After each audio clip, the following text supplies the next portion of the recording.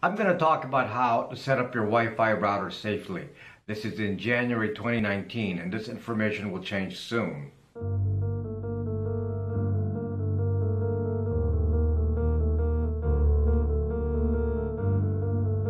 Okay, first of all, how do you set up wireless security? You have several options in there. There's WPA2 AES, WPA2 TKIP, there's WEP, WEP, there's WPA. And then on new ones, there will be WPA3. So which ones do you choose? Well, at, the, at this moment, January 2019, WPA3 is not an option yet.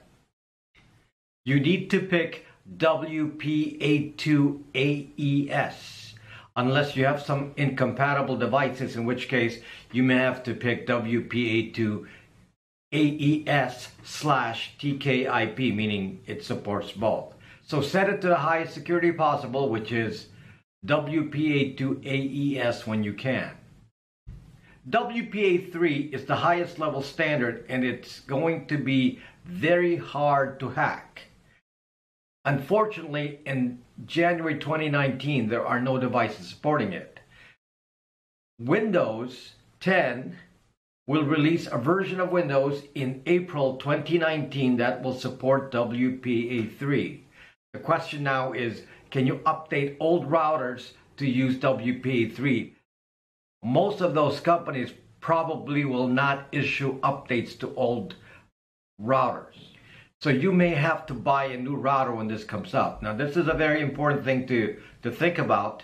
So sometime from April on to the end of the year, you may need to buy a new router that supports WPA3. This is very important because WPA3 is not hackable compared to WPA2, the current set of routers, that's the current standard. What about passwords? The passwords on your Wi-Fi routers, I have a password video that explains how much time it would take to brute force uh, or use a dictionary attack on a router. So the way to avoid this is to use 12 digits 12 characters on your password, your Wi-Fi password with alphanumeric characters, upper or lower, numeric, and then a special character. One more major problem is what is the password for your router admin account? Most of you will leave that to the default, which is often admin password or admin admin or something like that. That will be so hackable. That will be so hackable. There's so many hacks in that already. So get rid of that, change the password to something else. Wi-Fi routers are used to spot your location using something called Wi-Fi triangulation, which is on my location video. Now Google has said that they will exclude your router from the Wi-Fi geolocation database if you put the name underscore no map underscore no map and they want every other company to support that. I have no idea who supports it, but if I can get Google to be less accurate, then what the zuck? Let's do it. Let's put underscore no map on your Wi-Fi name. You've heard of something called the KRACK attack, K-R-A-C-K, which is used to hack routers.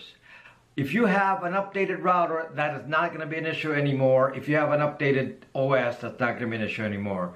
So don't worry about that now. That's, that's gone. That's an old thing from 2017. Now, these are not tips on safety, but tips on usability. How, how do you make your Wi-Fi perform well in your home? Well, well, a trick that is not well known is that you should use channels 1, 6, and 11 only if you're using 2.4 gigahertz, do not use any other channel. 1, 6, or 11. This has to do with overlaps. I have a video in my playlist that explains that in detail, but just choose 1, 6, or 11. Now, if you have microwaves around you, you may find that you have to choose 1 or 11 or 6, depending on the kind of microwave. So you're going to have to test that. Microwaves will affect some of those frequencies more. So choose the channel that works for you if you can, if you can, use 5 gigahertz. 5 gigahertz does not get affected by a microwave. The problem with 5 gigahertz is that it is short range. So if you have a a ability to get close to the Wi-Fi router, then stick to 5 gigahertz and you can use double channels. Do not use double channels on 2.4 gigahertz. You'll just get into problems. Do not double the channel. Some new Wi-Fis have that offering, double channels. No, don't do that. In case you get hacked, because you never know, your Wi-Fi could be hacked and your neighbor or somebody else could be using your Wi-Fi. It is best to always use a VPN even in your house. That way your traffic is encrypted at all times. That's it, folks. See you next time for more tips from Rob Braxman. And subscribe to this channel, please, and click on that notification bell.